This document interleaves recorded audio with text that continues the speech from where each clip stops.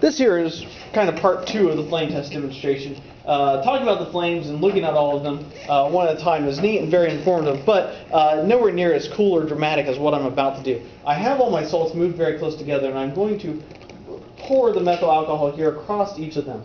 Uh, theoretically, uh, this will, when I light one, all the others will catch on fire as well because of their close proximity.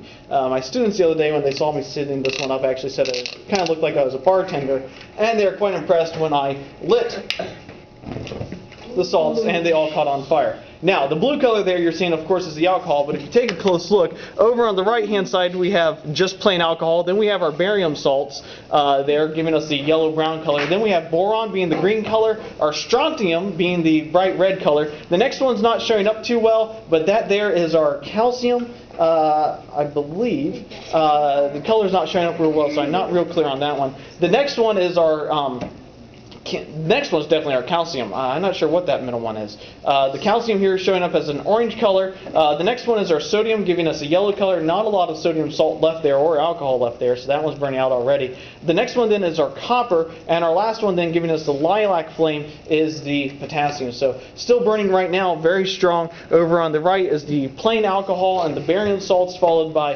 again boron giving us the beautiful green, strontium giving us the bright red, uh, lithium here showing up as the bright. Uh, colors of hot pink. Again, I can't remember what salt I have down down here, but it's not showing up very well. Uh, down on the end, our copper is almost out, and our potassium is still going fairly strong uh, as we finish this one up. Uh, but a neat demonstration about the uh, properties of certain elements. Uh, and of course, this is, although a neat demo, it does have a lot of real-world applications. Those real-world applications include things like fireworks, uh, signal flares, um, uh, special effects in Hollywood certainly occasionally use things like this, not always. Uh, a lot of the times nowadays it's just computer generated. But these here are uh, um, used in special effects. Uh, this is also previously how many elements were discovered. There have been times uh, where uh, large amounts of elements were discovered because of their flame test. Now we've discovered all naturally occurring, we think at least, elements, and so this isn't used for that anymore, but it is used to identify